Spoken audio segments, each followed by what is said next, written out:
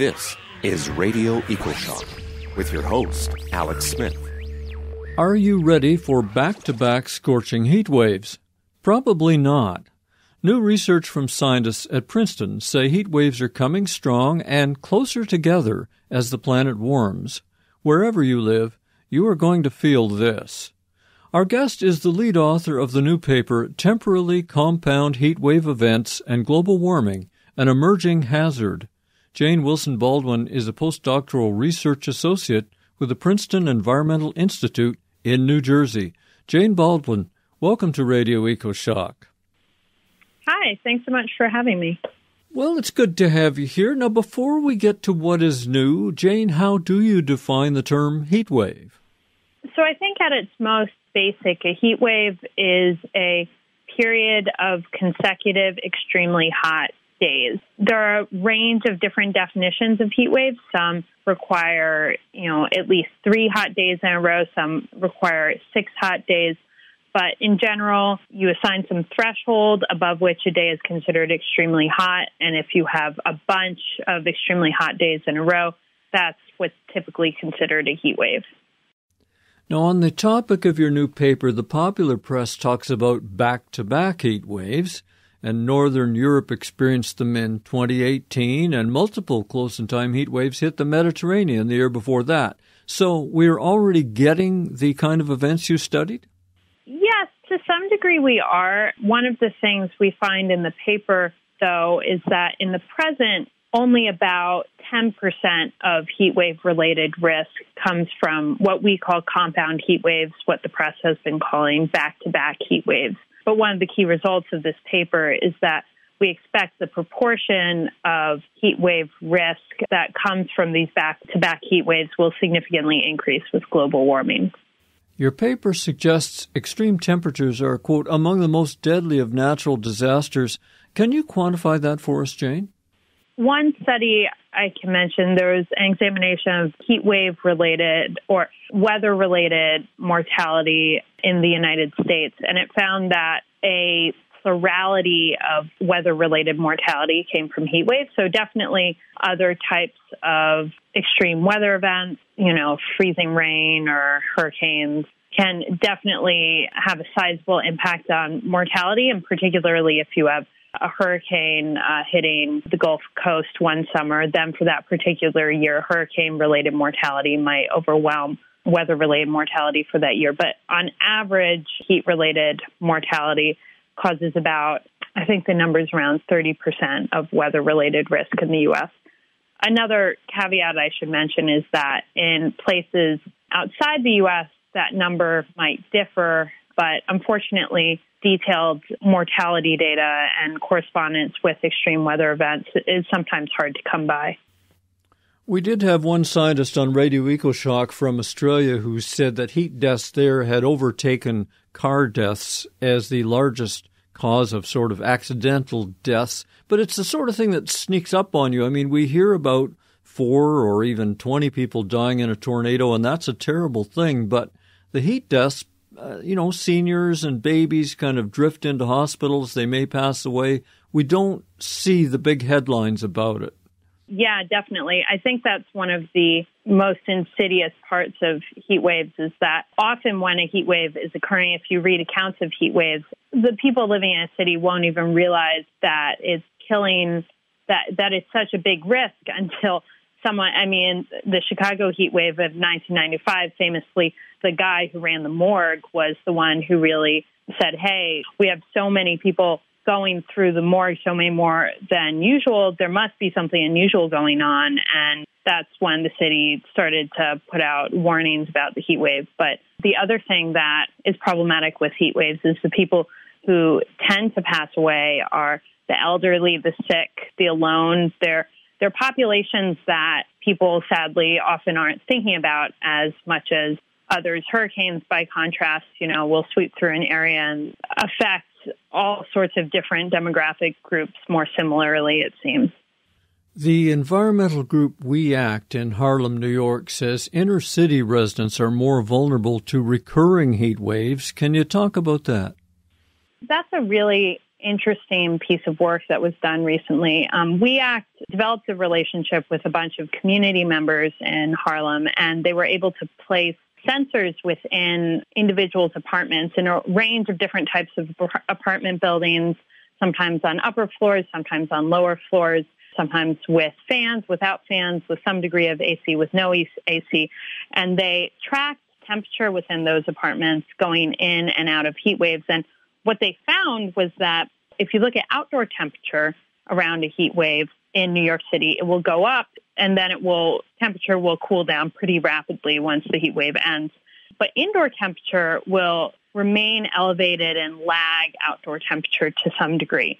So what that means is if you have two heat waves occurring close together with a cooler break in between, even though it might cool down quite a bit outside, residents inside uh, apartments that aren't air conditioned well might not really see a break between those two heat waves. And this is actually in, in accounts of people uh, perishing during heat waves. Often they're in their apartment, and for whatever reason, they weren't able to open a window and they didn't have a family member to check on them. So sometimes the good thing about heat waves is interventions can be very simple to help deal with them, but again, um, the situations in which people often die can be uh, pretty tragic and just, you know, people that live around us that we're just not thinking about as much, perhaps. Now, that was surely the story in France in the 2003 heat wave that killed somewhere between 30 and 70,000 uh, people in Europe. And there were a lot of seniors who were indoors, nobody to check on them. And uh, some inner city residents are afraid to open their windows because of crime. So you, you get all kinds of factors to work in that, that can kill people. Right, definitely. And I've also heard some discussion about sometimes different cultural differences. If people have maybe immigrated from somewhere in the tropics, they might think, well, you know, I we never had AC down there. I'll be fine. Um, and you often see that kind of attitude more in um, also in more elderly populations. So there are all sorts of complex factors that might lead some people to be more vulnerable than others. Jane Baldwin, you have co authored several papers on the urban heat island effect. What is that, and does that relate to the returning heat waves in your new paper? Yeah, so the urban heat island effect is that if we look at cities compared to surrounding rural areas, cities tend to have elevated temperatures compared to surrounding rural areas. There are a few different reasons for this. One reason is that the surface in cities tends to be drier than in surrounding rural areas. And so the city surface can't cool via evaporation, um, and that results in a, a hotter surface in cities. There are also other aspects that have to do with energy usage in cities and just insulation and wind flow in general and also the, the color of surfaces. Surfaces in cities tend to be dark, and um, much like if you have a black car that heats up faster than a white car, cities can, as a result, heat up more. So all these factors lead urban places to be hotter on average than surrounding rural places. Now, this is a significant concern, particularly in light of global warming, because we have a increase in temperature that's resulting from increasing carbon emissions.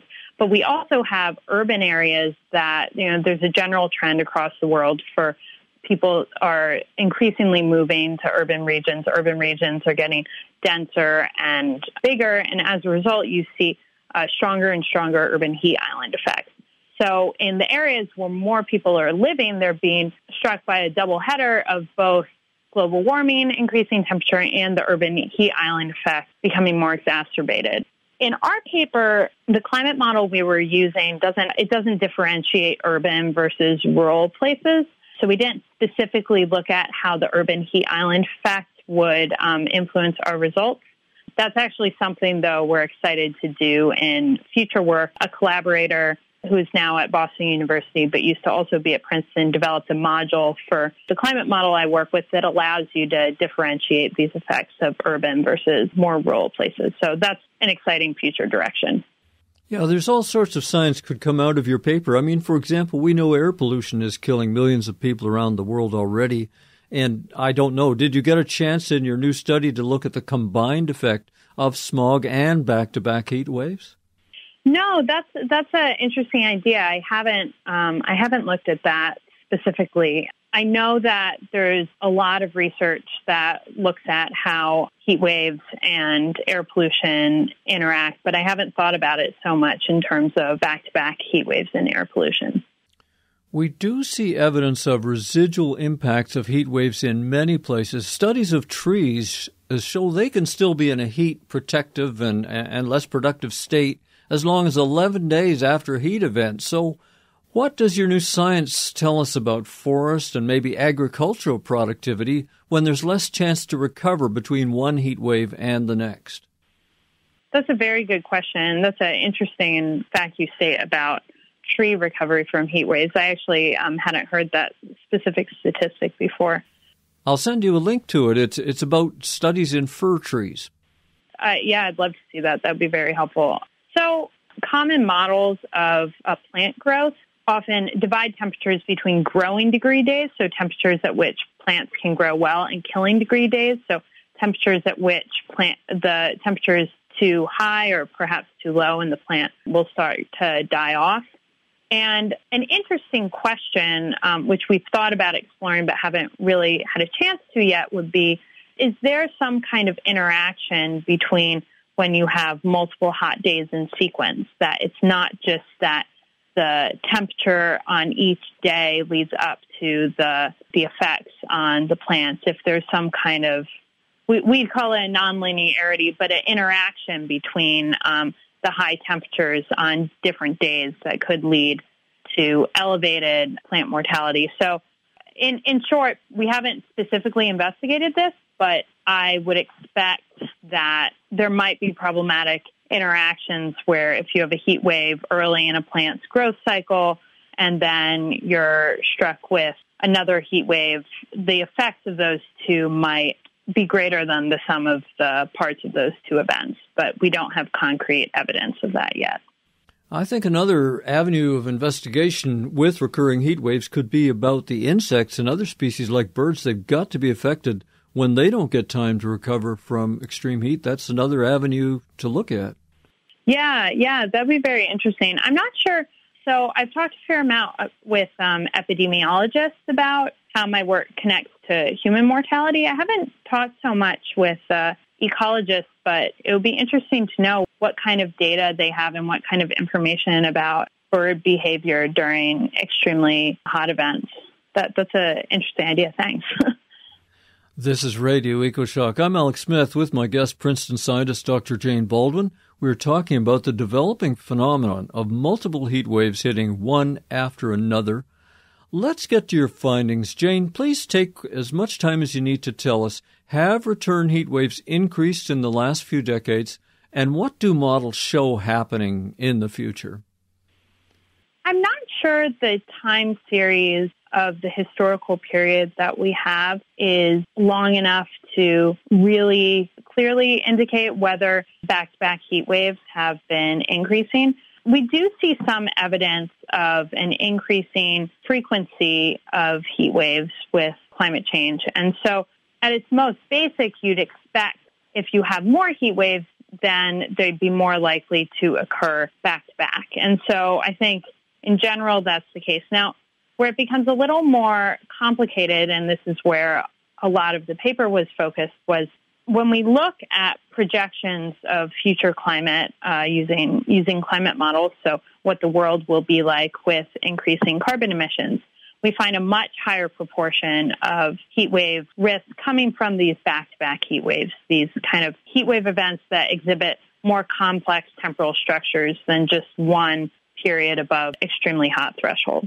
So given that we see this change, one question you can ask is, well, can the, this simply be explained by a increase in mean temperature on average temperatures, or is there something in the climate system that's making heat waves kind of uh, group together more, stick closer to one another, and that could be related to some change in uh, variance, we'd say.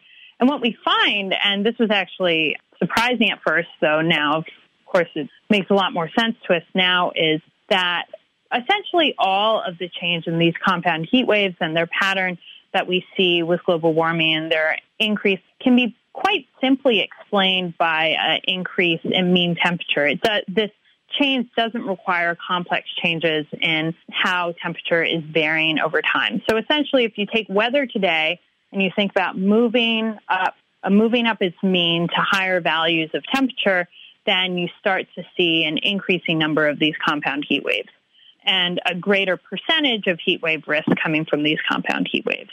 So our initial reaction to that was, well, that's not a super exciting result then. It's so obvious and you just increase mean temperature. But I think where this result is really important is when A, since it's just rooted in the increase in mean temperature, uh, it makes it much more confident that it is a robust result. If it was rooted in some complex change in temperature variability, we'd have a lot less confidence that climate models would be able to project that. So one point is we're confident this is a robust result.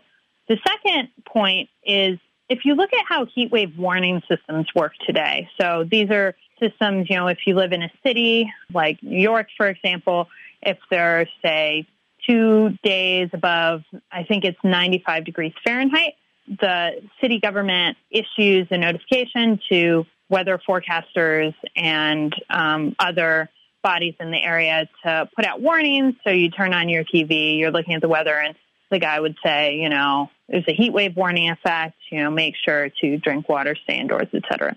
So right now, how these heat wave warning systems work is they look at the next few days of predicted temperature. And I think one of the key implications of this study is going into the future as we see more and more of these compound heat waves. I think it'll be increasingly important to not only consider the predicted weather, but also consider the recent past history of weather when one is deciding whether to issue a heat wave warning. Does that make sense? It does make sense. And you also stimulated me to think that another factor has got to be the changes in the waviness of the jet stream and the fact that we have some weather systems stalling over certain areas and, and, and some blocking happening. And so if it's really hot where you are, it may stay hot like that for quite a long time. This has happened in northern Australia. It's happened in California last year. And I think that could also be a factor driving recurring heat waves. So that, when I was talking about changes in the variance of temperature, the variability of temperature, if we were seeing more changes in blocking, uh, more blocking events greater waviness of the jet stream, that would fall under the category of being a change in variance that was affecting heat waves.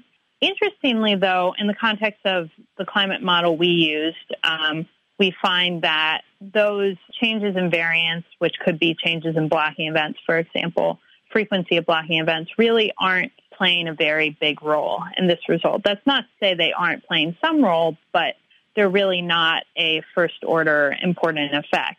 Now, an important caveat to that is we were looking at one climate model, which we use because it has particularly high resolution in the atmosphere, meaning it has a lot of uh, spatial detail that's useful for looking at these types of extreme events.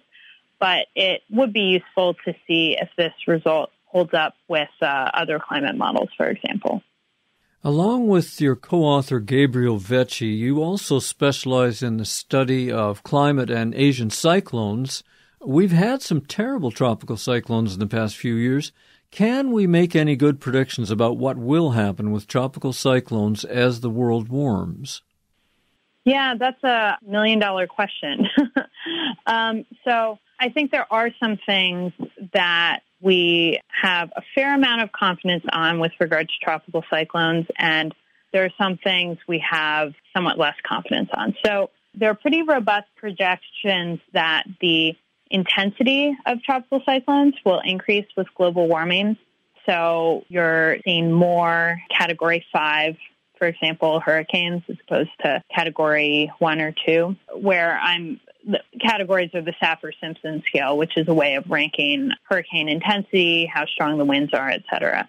But the thing we're a lot less sure about is how the frequency of tropical cyclones will change with global warming. There's some evidence that we'll have, people say we'll have fewer but fiercer, so meaning we'll have stronger but fewer tropical cyclones. But that result actually, I'd say regarding the frequency is still very much under debate. I was actually part of a paper that's currently, it's not quite out, but it should be published soon, that was looking at changes in tropical cyclone frequency in a very high resolution global climate model. And interestingly, it suggests, and this is a global climate model that can simulate tropical cyclones up to category five, which is previously climate models were not capable of doing. In the context of that model, we actually don't see a decrease in frequency of tropical cyclones.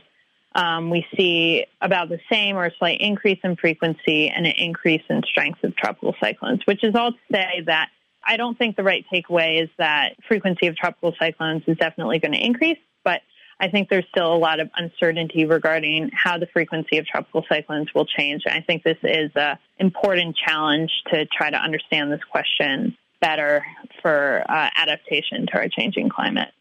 Thanks for that insight. Well, returning to your new paper on repeating heat waves, my quick research into this topic suggests the first heat wave of the season is the most dangerous. It kills people, especially seniors who seem to be slow to adapt.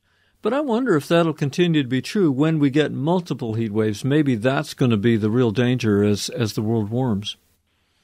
Yeah, so you're hitting on the question that's currently causing me headaches. So I've recently been trying to follow up on my paper, which the paper that was recently published focused primarily on the physical hazard of heat waves, meaning we were looking at temperature. We didn't actually look at mortality data very quantitatively. We looked at some past historical heat waves and how much mortality they caused, but we didn't directly try to relate compound heat wave events in a very rigorous quantitative fashion to um, mortality.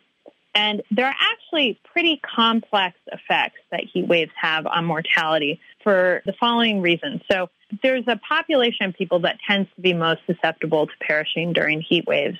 As we discussed, the old, the sick, um, individuals who live alone. And what seems to happen during extremely hot days is there'll be a spike in mortality on that extremely hot day. So more people are dying due to the extremely hot weather. But then sometimes in the days following, you actually see a decrease in mortality. And so what that suggests is that there's some finite pool of people that are really at risk for heat waves. And it's possible that if they perish in an initial heat wave because they wouldn't be around anymore, then you might actually see decreased mortality to a subsequent heat wave. In the converse, it's also possible that you have an initial heat wave and that kind of heats up buildings and overwhelms emergency systems such that a subsequent heat wave would have greater effects. So that's the current question I'm actually grappling with is trying to understand do we expect the impacts of these compound heat waves to add linearly or do we expect two heat waves occurring in sequence, the second one to have greater impacts than the first one, or the second one to have reduced impacts compared to the first one because of this kind of displaced mortality effect.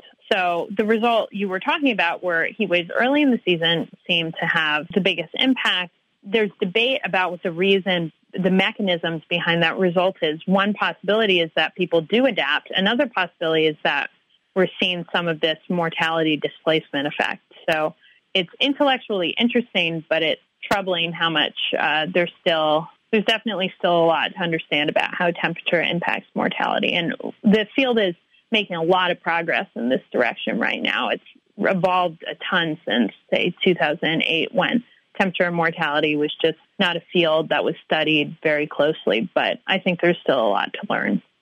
Yeah, in the 1900s, people didn't even write down if people were killed by heat. They just put down heart attack or stroke or something. So uh, here's a question that I ask most of my scientists towards the end of the interview, and it's how are you concerned personally with climate change, and does what you know sometimes bother you? Yes, I am concerned personally with climate change. So I got involved in this field in sort of an unusual way. Most people who end up being atmospheric scientists, I found, have physics or math backgrounds. I actually started out studying environmental policy in college, and I was pretty involved in some advocacy for Massachusetts to have uh, cleaner electricity. But as I was involved in that advocacy, I realized that I'm the kind of person that uh, if you ask me a question about, say, how tropical cyclones are going to change, I tend to get very mired in the whys and the details uh, in answer to the question. So that led me to become a scientist. But um, trying to do something constructive to help people adapt to this issue we're facing is something that's definitely at the top of my mind when I'm doing my research. Um, I think there are some scientists that would say, oh, well, you need to be careful not to be too much of a do gooder, you know, that could make the work that you're doing biased in some way. But but I think it's possible to both. I, a lot of the work I do is rooted in just intellectual curiosity. I've done some work on uh, the influence of mountains on hurricanes, for example, and we did that because we just thought it was an interesting question, important for basic understanding of the climate system. But then the heat waves paper, for example, I, I started working on it because I was concerned that this was a risk that was not understood very well in the face of a changing climate in terms of personal actions, I try to eat mostly vegetarian now, but I have some food intolerances, so sometimes I need to supplement my diet with meat. Um, I always try and find ways to drive less, but that's a bit of a challenge living in suburban New Jersey. But hopefully, always trying to do better in that regard, never perfect. That's my life entirely. We're trying to do better, but never perfect. And I have to speak up for doing good. I think we should just uh, keep on aiming for that. We have been speaking with Jane Wilson Baldwin from the Princeton Environmental Institute. You can find links to the paper that we've been talking about in my show blog at ecoshock.org. Jane, thank you so much for sharing with us on Radio EcoShock. Yeah, thank you so much. This was great.